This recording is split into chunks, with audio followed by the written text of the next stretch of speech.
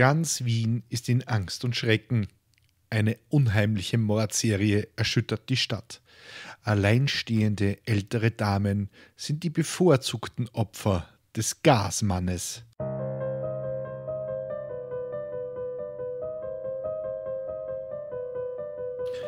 Willkommen bei Mörderisches Österreich, dem Podcast über historische Kriminalfälle aus eurer Umgebung. Anhand von zeitgenössischen Berichten rekonstruieren wir hier die größten Verbrechen der Geschichte Österreichs und darüber hinaus. Am Ende gibt es noch den Klugschiss zum Schluss. Mein Name ist Peter und ich bin im Hauptberuf Journalist. Willkommen bei der 52. Episode von Mörderisches Österreich. Wie mir gerade aufgefallen ist, ist das gleichzeitig auch die Weihnachtsausgabe. Also in diesem Sinne, frohe Weihnachten euch allen, bleibt's fröhlich, gesund und vor allem diesem Podcast gewogen. Und erzählt euren Freundinnen und Freunden, Verwandten und Bekannten, Nachbarn und anderen Todfeinden davon. Dann könnt ihr nämlich zu Weihnachten endlich aufhören, vor dem Baum schief Stille Nacht zu singen und stattdessen diesen blutigen Mörder-Podcast hören. Nichts bringt einen mehr in Weihnachtsstimmung als eine gut gemachte Mordserie, oder? Und weil ich schon bei der schamlosen Eigenwerbung bin, möchte ich euch auf zwei weitere Podcast-Projekte hinweisen, an denen ich mal mehr, mal weniger maßgeblich beteiligt bin. Und zwar könnt ihr mich im Shock 2 Podcast hören. Da rede ich über mein zweitliebstes Thema nach grausamen Morden, nämlich das Tabletop-Spiel Warhammer bzw. dessen Videospielumsetzung namens Rogue Trader. Das ist super nerdig und natürlich nur für nischenaffine Menschen mit Geschmack gedacht. Außerdem plaudere ich in der 25 Stunden oder länger dauernden Weihnachtsepisode über meine Lieblingsserie, meine sehr kurze und wenig ruhmreiche Karriere als Sportredakteur und mein liebstes Weihnachtsgeschenk. Keine Sorge, ich rede nicht die ganzen 25 Stunden, da sind noch viele andere tolle Gäste mit dabei. Wirklich stolz bin ich aber auf ein neues Projekt, das gerade im Entstehen begriffen ist. Dabei handelt es sich um einen Podcast namens Steuerfrau und es geht hauptsächlich ums Segeln. Und auch hier keine Sorge, ihr müsst mir nicht dabei zuhören, wie ich über meine Expertise im Tretbootfahren plaudere. Vielmehr lasse ich mir und damit auch euch Zuhörerinnen und Zuhörern von einer echten Expertin das Leben auf hoher See erklären. Eine ganz liebe Freundin, die Uli, die ist nämlich die echte Steuerfrau an Bord und hat das Kommando. Und nein, sie hat weder Augenklappe noch Holzbein, aber das wird schon noch. Also ich stelle die Fragen äh, eines Ahnungslosen, also was tut man, wenn man plötzlich in einen Sturm gerät? Gibt es wirklich Seeungeheuer und wie kommt man eigentlich auf die saublöde Idee, sich ein Segelboot zu kaufen? Das Ganze wird ein wenig leichter und lockerer als dieser Podcast hier.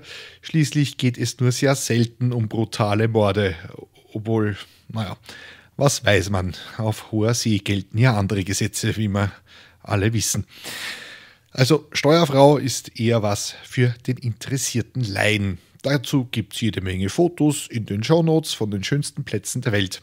Das Ganze ist also eher eine informative, gute Laune-Geschichte. Nicht so wie dieser Podcast. Heute wird es nämlich einmal mehr blutig, grausam und brutal. So, jetzt machen wir mal wirklich Butter bei die Fische. Es gibt nämlich Morde in Serie, wenn der Gasmann klingelt. Los geht's wird eh Zeit. Unser heutiger Fall spielt in Wien und ein bisschen in Niederösterreich, und zwar in Wien der 70er Jahre. Es geht um einen der aktivsten Serienmörder des Landes, und wenn ihr bis zum Schluss dran bleibt, erzähle ich euch, dass ich zu dem Täter sogar so etwas wie eine persönliche Verbindung habe. Ich bin ihm nämlich mehrmals begegnet, ohne es zu wissen. Das ist die Geschichte des Gasmannes, des Bürgers von Wien, der Handkante von Hitzing.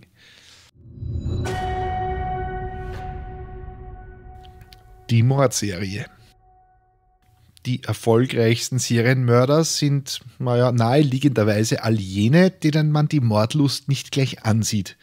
Ich meine, wenn ihr euch einen blutigen Jutesack über den Kopf stülpt und mit einer Kettensäge auf Leute losgeht, werdet ihr recht bald alleine dastehen. Also ein Serienmörder kann natürlich deutlich aktiver sein, wenn er harmlos aussieht und seine Opfer freundlich anspricht. Ein Ted Bundy konnte nur so lange morden, weil er gut aussah und keinerlei Verdacht erregte. Auch ein John Wayne Gacy wirkte nach außen hin wie ein völlig normaler Bauunternehmer, also bis er seine Opfer unter Drogen setzte, fesselte, sie vergewaltigte und sie anschließend in seinem Clownskostüm ermordete. So ist das, so, na, ganz so ist es nicht, aber so ähnlich ist das auch bei unserem heutigen Mörder im Wien der 70er. Die Menschen trugen Glockenhosen und zum Einkaufen ging man, ging man noch zum Gerngroß. Es war die Kreisky-Ära in Österreich und im Gegensatz zu heute hatte man damals das Gefühl, es geht immer weiter aufwärts. Und wenn man sich alte Fotos von Wien anschaut, merkt man auch, die Straßenbahngarnituren sind teilweise noch dieselben. Und wenn man die Fotos, wenn man sich die Straßen selbst anschaut, merkt man dann auch recht schnell, oh, sei mal froh, dass die Stadt heute deutlich besser ausschaut als in den 70ern. Doch nicht alles ist idyllisch. Wien wird in den 70ern nämlich von einer unheimlichen Mordserie heimgesucht. Bevorzugt werden alte, alleinlebende Frauen, Sie werden umgebracht und ausgeraubt. Einbruchsspuren gibt es aber nie. Das heißt, die Opfer müssen ihren späteren Mörder freiwillig in die Wohnung gelassen haben.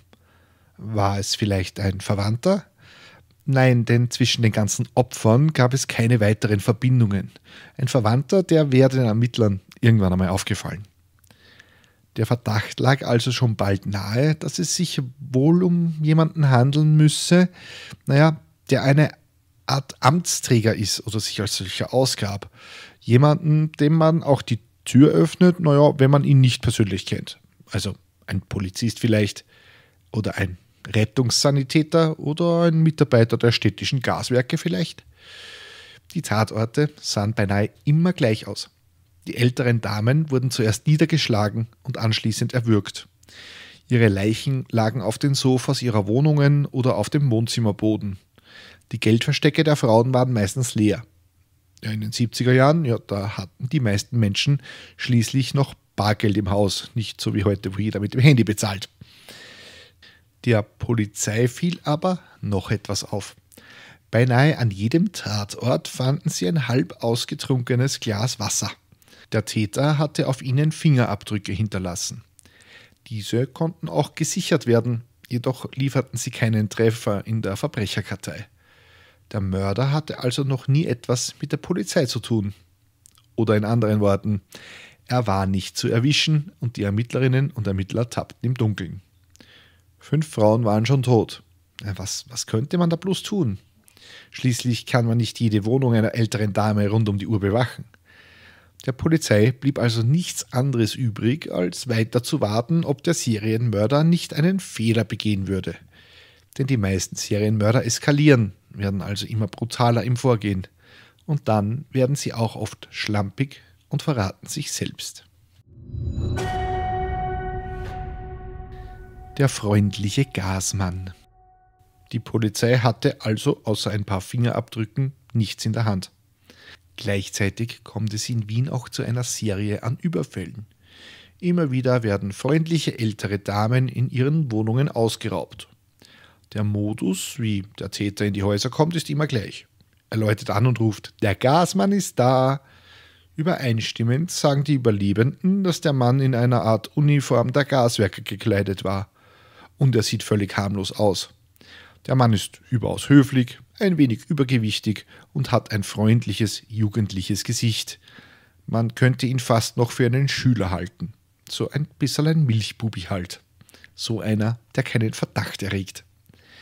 Er müsse die Gasanlage kontrollieren und warten, sagt er zu den älteren Damen. Diese werden nicht misstrauisch, auch wenn sie von der Mordserie gehört haben. Schließlich steht hier ein, ein offizieller Mitarbeiter der Gaswerke vor ihnen und vor so etwas, ja, da hat man in Österreich Respekt. Er hat sogar einen Ausweis und kennt sich mit Gasthermen offenbar aus. Er kann den Frauen sogar Fragen beantworten und er behebt tatsächlich die eine oder andere Störung. Irgendwann bittet der Gasmann seine Opfer nach einem Glas Wasser, während er so tut, als würde er an der Heizung herumschrauben. Während die älteren Damen in die Küche gehen, um dem Herrn etwas zu trinken zu holen, sucht er nach dem Geldversteck der Damen. Findet er nichts, schlägt er die meist gebrechlichen Damen mit Handkantenschlägen nieder und verschafft sich so mehr Zeit, um die Wohnungen zu durchsuchen. Manchmal überkommt ihn dabei die Wut und der freundliche Gasmann legt dann seine Hände um den Hals der Frau und drückt so lange zu, bis sie tot sind. Damit wäre auch die Frage geklärt, warum an den Tatorten häufig Wassergläser gefunden werden. Es gehört einfach zur Masche des Täters. Doch die Polizei tut sich anfangs schwer und das ist jetzt auch kein Wunder, denn es gelingt einfach nicht, diese Raub- und die Mordserie miteinander in Verbindung zu bringen. Diese beiden Abteilungen der Polizei, die reden einfach nicht miteinander. Das heißt, es wird wegen Raubmorden ermittelt und gleichzeitig läuft eine Mordserie mit demselben Modus. Nur wissen die Ermittler das nicht. Aber auch das wird sich bald ändern. Das Phantombild. Die Nachbarin eines Opfers des Gasmannes hatte nämlich beobachtet und etwas genauer hingeschaut. Die Frau ist noch dazu Grafikerin und gemeinsam mit dem Phantombildzeichner der Sicherheitsdirektion gelingt es ihr, ein wirklich exaktes Bild des Mannes anzufertigen. Die Zeichnung ist so detailgetreu, dass sie fast genauso aussieht wie das Foto des später gefassten Täters. Ich poste das dann in die Show Notes auf Steady. Das ist wirklich sehenswert, wie exakt der Mörder da getroffen wurde. Doch auch das hilft der Polizei noch nicht viel weiter. Zwar hat sie jetzt eine Vorstellung, wie der Räuber aussieht, deswegen sitzt er aber noch lange nicht im Gefängnis. Und dass es sich beim Serienmörder und dem Räuber um dieselbe Person handelt, ist auch immer noch nicht fix. Aber das Phantombild wird später noch zu einem entscheidenden Hinweis werden und die mörderische Karriere des Gasmannes beenden.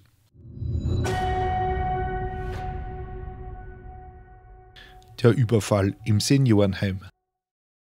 Es ist der 12. Februar 1972. Seit eineinhalb Jahren sucht die Polizei nach dem Mörder und dem einen Räuber, dem im Gasmann-Kostüm, immer noch nicht wissend, dass es dasselbe ist.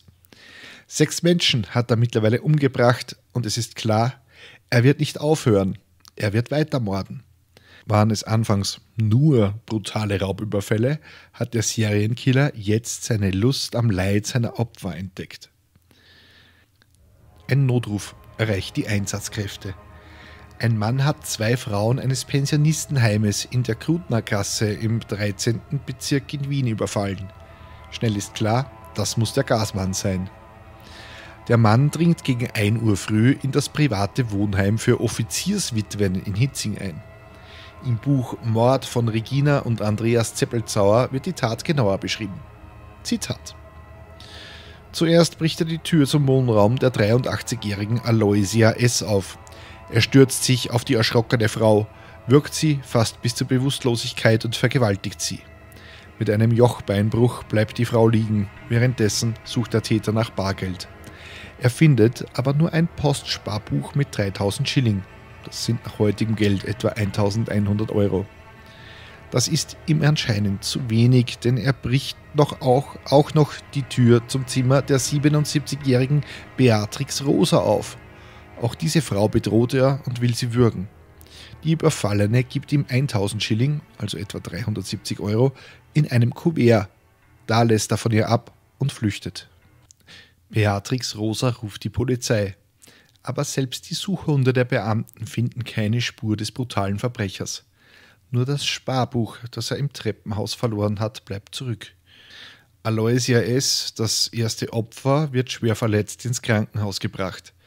Beatrix Rosa blieb bei dem Überfall unverletzt und sie kann jetzt eine entscheidende Aussage machen. Sie kennt den Angreifer nämlich. Der war nämlich schon vor einem Monat hier bei ihr. Damals hatte er behauptet, die Gasgeräte überprüfen zu müssen. Der Mörder verschaffte sich bei seinen bisherigen Opfern immer wieder als Gas- oder Installationsfachmann Zutritt zu den Wohnungen. Auch die Personenbeschreibung, die Beatrix Rosa der Polizei gibt, deutet auf den unbekannten Frauenmörder hin. Circa 25 bis 30 Jahre alt, etwas korpulent mit schwarzem, leicht gewelltem Haar. Das passt perfekt zu dem zuvor angefertigten Phantombild. Jetzt ist klar, das passt auch zu dem gesuchten Frauenmörder. Bei dem Täter der vielen Raubüberfälle in Wien und dem Serientäter handelt es sich also um dieselbe Person.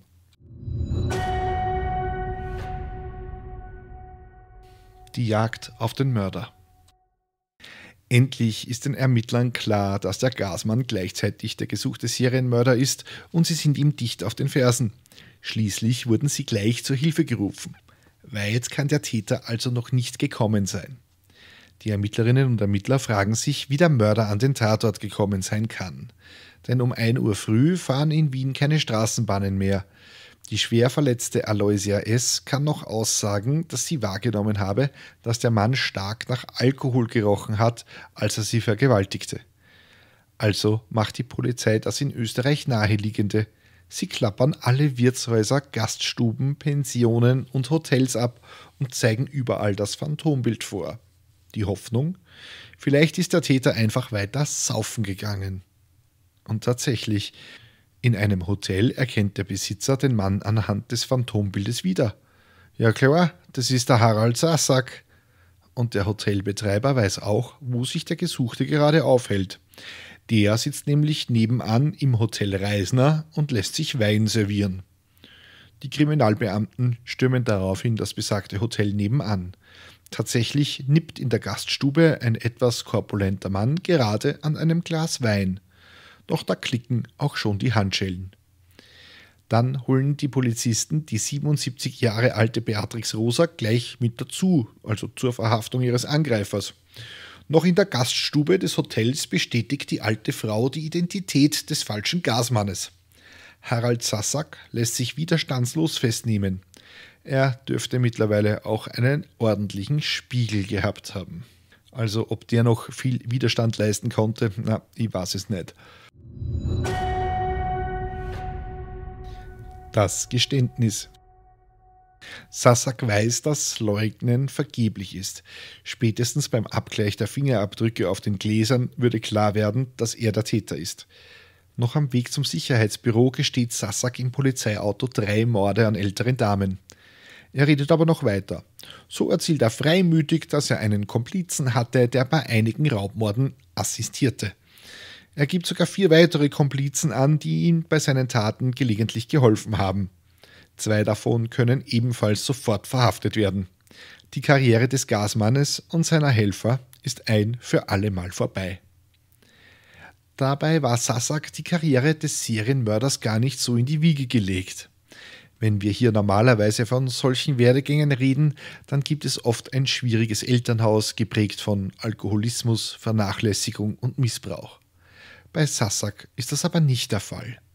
Sassak wurde 1947 in Oberwart im Burgenland als Sohn eines Maurers und einer Bedienerin, also einer Reinigungskraft, geboren.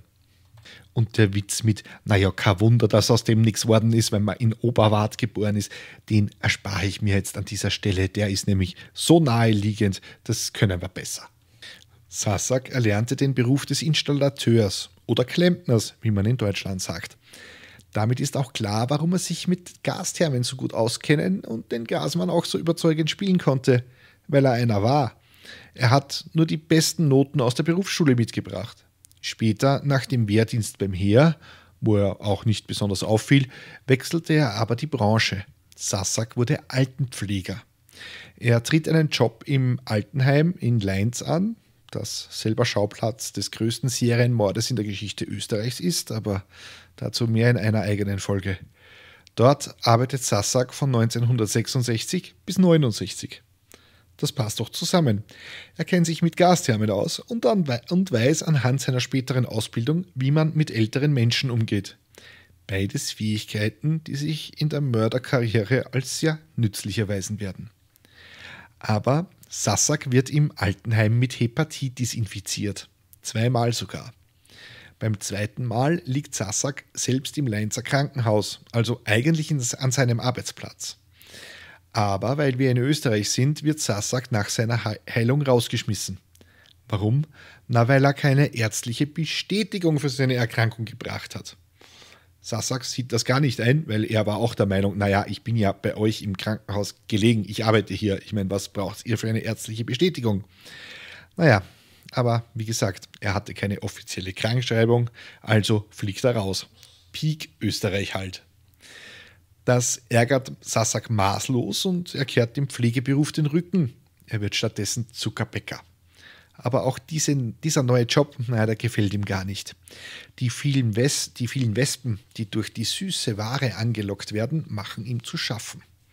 Mindestens zehnmal am Tag sei er gestochen worden, sagt Sassak im Verhör. Deshalb kündigt er. Sassak geht dann keiner geregelten Arbeit mehr nach. Bei den, Einvernahmen, bei den Einvernahmen gibt er auch an, wie er auf den Gaskassierschmäh gekommen sei. Installateur und Krankenpfleger, das hat irgendwie harmonisiert, erzählt er. Seinen ersten Raub hat er begangen, als er einer älteren Frau geholfen hat und ihre Gastherme reparierte.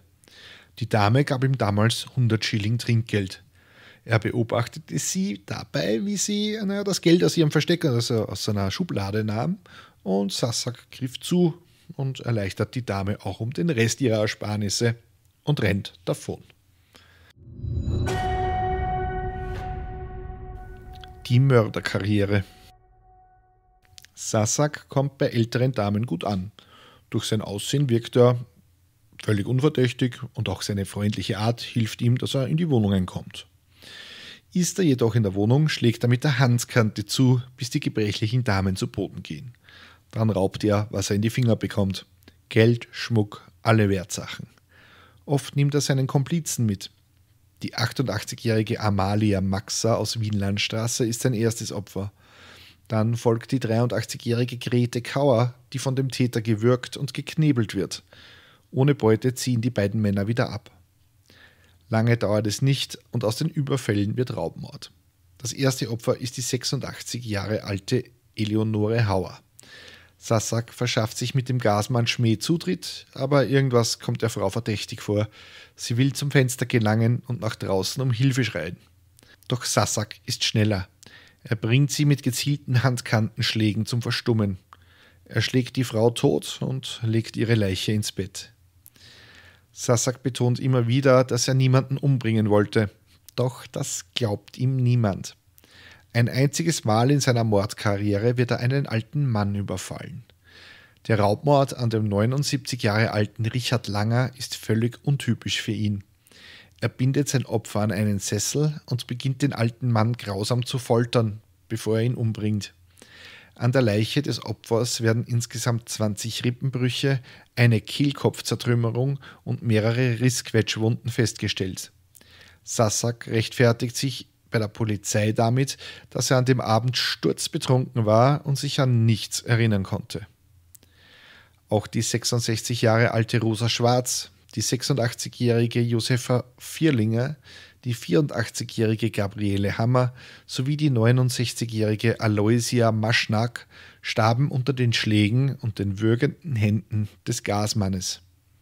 Sein siebentes Opfer, die 88-jährige Maria Aberle aus Wien-Maria Hilf stirbt erst zehn Tage nach dem Überfall, als Sassak schon hinter Schloss und Riegel sitzt.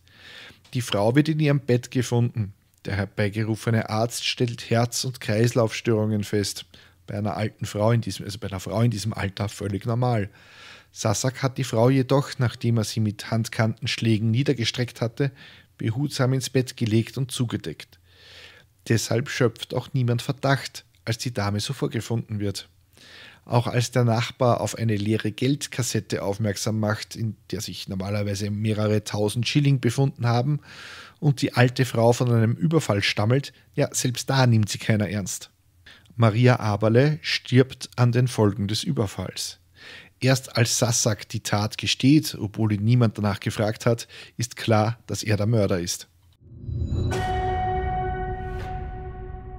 Der Prozess. Am 22. Jänner 1974 beginnt der Prozess gegen Sassak. Schon das Verlesen der Anklageschrift dauert mehr als eine Stunde. Sassak werden sechs Raubmorde, elf Raubüberfälle und eine Vergewaltigung vorgeworfen.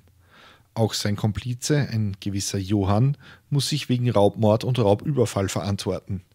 Beide Angeklagten bekennen sich schuldig, leugnen aber die Tötungsabsicht. Harald, Harald S. schildert, wie er Johann Sch. kennengelernt hat. Die beiden trafen in einer Likörstube aufeinander und hatten auch schon einiges getrunken. Da erzählt Harald S. dem Mann, dass er keiner geregelten Arbeit mehr nachgehen würde. Er offenbart ihm des Weiteren seine Betrügereien und seinen Gastrick, mit dem er sich Zutritt zu den Wohnungen seiner Opfer verschaffte. Was er nie ausspricht, ist das Wort Mord. Für ihn war das alle eine harte Hocken, also eine schwere Arbeit.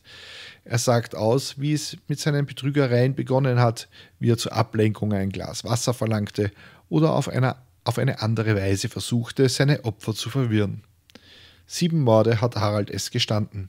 Wie viele Menschen er überfallen hat und die mit dem Leben davon gekommen sind, ist nachher nur noch schwer zu beurteilen. Auch in Niederösterreich hat sich Sassak seine Opfer gesucht. Laut Gutachtern litt der Angeklagte unter Morbus Cushing, was angeblich zu einer sexuellen Perversion führen soll.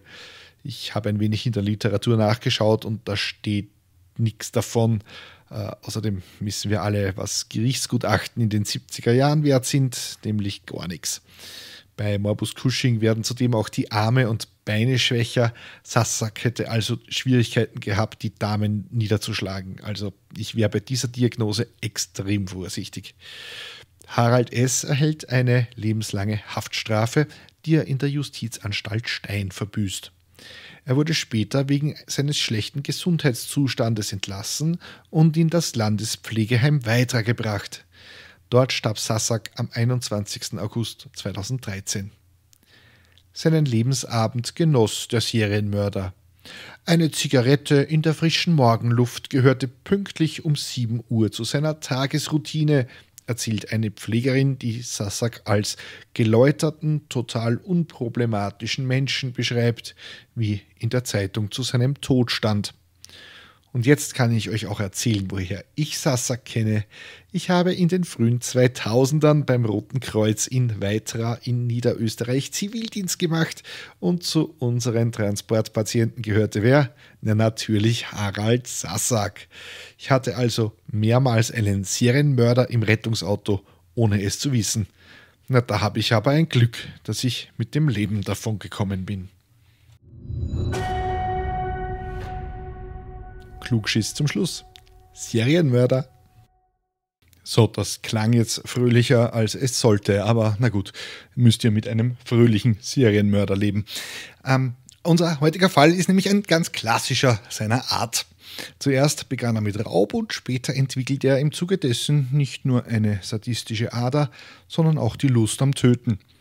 Von einer Mordserie spricht man übrigens ab drei Delikten. Der Begriff Serienmörder ist noch gar nicht so alt, wie man vermutet. Er taucht erst in den 1930er Jahren im Zusammenhang mit den Ermittlungen gegen den deutschen Serienmörder Peter Kürten auf. Durchgesetzt hat sich der Begriff aber erst in den 70er und 80er Jahren. Vorher war oft vom Kettenmörder die Rede, was ein bisschen irreführend ist. Und der Begriff Massenmörder wird übrigens häufig nur in der Zeit vor dem Zweiten Weltkrieg verwendet. Naja, weil, naja, die Begriffsdimension hat sich ja im Krieg ein bisschen verschoben. Es gibt insgesamt vier Typen von Serienmördern. Der visionäre Mörder tötet in der Psychose, weil er zum Beispiel Stimmen hört. Der missionsorientierte Typ tötet oft, weil er glaubt, eine Pflicht zu haben, die Welt von gewissen Personengruppen zu reinigen. Das sind oft auch diese religiösen, religiösen Typen. Also zum Beispiel wäre Ernst Karl aus einer der früheren Episoden äh, so ein Fall, der hat ja nur selbst Verbrecher umgebracht. Der Hedonist tötet, weil er sich an den Qualen seiner Opfer na, ein bisschen aufgeilt. Darunter würde zum Beispiel Werner Kniesek fallen, der eine Familie in St. Pölten terrorisiert und die Tochter der Familie zu Tode gefoltert hat. Dann gibt es noch den machtorientierten Typen, dem es darum geht, die Kontrolle über seine Opfer auszuüben. Die meisten Serienmörder sind männlich und zwischen 16 und 36 Jahren alt und leben in Großstädten. Die meisten Serienmörder sind übrigens US-Staatsbürger. Dort schätzt das FBI, dass bis zu 50 Serienkiller aktiv sind, ohne dass die Behörden davon wissen. Und in Österreich und Deutschland? In Deutschland gab es bislang 85 Serienmörder, in Österreich 22. Auf die Bevölkerung gerechnet heißt das, Österreich hat mehr Serienmörder als Deutschland. Und zwar richtig viel mehr. Haha, wir spielen nicht nur besser Fußball, wir sind auch besser im Leute umbringen. Laut der Berliner Zeitung leben aktuell in Deutschland 20 unerkannte Serienmörder. In Österreich dürften aktuell drei Serienmörder aktiv sein. Von einem weiß man es schon. Aktuell kam es in Wien immer wieder zu grausamen Morden an Obdachlosen. Zwei Menschen wurden bereits erstochen, ein drittes Opfer überlebte schwer verletzt. Die Suche nach dem Täter verlief ergebnislos, bis er sich diese Woche selbst stellte. Es handelte sich um einen 17-Jährigen, der die Taten gestanden hat, weil er sich selbst bei der Polizei angezeigt hat. Und da waren es nur noch zwei Serienmörder in Österreich. Na, beruhigend, was? Angeblich begegnet man in seinem Leben insgesamt 36 Mördern. Das habe ich aus der Qualitätszeitung New York Post. Ich für meinen Fall weiß es nämlich von einem ganz sicher, nämlich Harald Sassack. Wenn ihr schon mal einem Mörder begegnet seid, ja, dann schreibt mir das doch auf Steady. Ja, und das war sie auch schon wieder, die 52. Episode von Mörderisches Österreich. Wenn euch die Folge gefallen hat, könnt ihr mir auf steadyhq.com slash mörderisch einen Euro in den Hut werfen. Danke an Andrea, Ralf, Dagmar, Sarah, Mechthilde, Sigi, Nathalie, Eva, Bianca, Björn, Heidi, Elisabeth, Patricia, Alexandra, Valentin, Jakob, Bianca, Bernd, Natascha, Martin, Johannes und Ingmar, die diesen Podcast unterstützen. Die ersten 30 Tage als Mittäterin und Mittäter sind kostenlos und ihr erhaltet die aktuelle Folge immer einen Tag früher als alle anderen. Wenn ihr auf Steady den Newsletter abonniert, bekommt ihr kostenlos Bonusmaterial zu den Fällen. Diesmal ist es das schon angekündigte Phantombild von Harald Sassack. Wenn ich mir etwas wünschen darf, dann wäre das Feedback zu den Episoden in Form von Reviews auf Spotify, Apple Podcasts und überall, wo ihr Podcasts bewerten könnt. Das hilft der Reichweite dieses kleinen Programms und zweitens kann ich die Show hier nur mit eurer Hilfe besser machen. Wenn ihr mir persönlich Feedback geben oder mir Hinweise für einen Fall geben möchtet, dann schreibt mir bitte einfach eine Nachricht auf Steady. Ja, es gibt noch ein altes Twitter-Konto, aber darüber habe ich die Kontrolle verloren, weil ich die Zugangsdaten nicht mehr habe, weil ich ein digitaler Supergeschickter bin. Ja, es tut mir leid. Also wenn ihr an, an Twitter schreibt, an das Twitter-Konto, ähm, ich kann darauf nicht mehr zugreifen, ich kann es leider nicht lesen. Also bitte lieber nicht machen. Die nächste Folge erscheint aber auf jeden Fall auf Spotify, Amazon, Apple, TuneIn, iHeartRadio, Podvine Player FM, Samsung Podcasts und dieser, weil auf alle diese Dienste habe ich nämlich noch Zugriff und meine Zugangsdaten. Vielleicht besteht ja doch noch Hoffnung. So, lasst euch nicht vom Serienmörder erwischen. Ich wünsche euch ganz, ganz viel frohe Weihnachten und wie gesagt, statt dem schiefen Singen hört euch einfach diesen Podcast an, verbreitet auch weihnachtliche Stimmung. Ich wünsche euch noch einen guten Rutsch. Wir hören uns im neuen Jahr wieder mit frischen Folgen von Mörderisches Österreich. Bussi und Baba.